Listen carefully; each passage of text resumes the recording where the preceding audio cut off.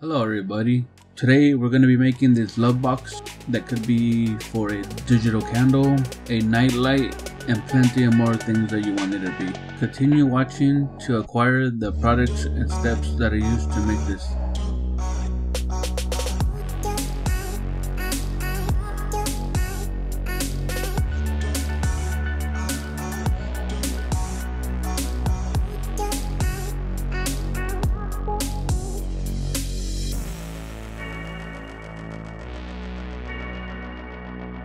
And I will provide a free download link to the file down below.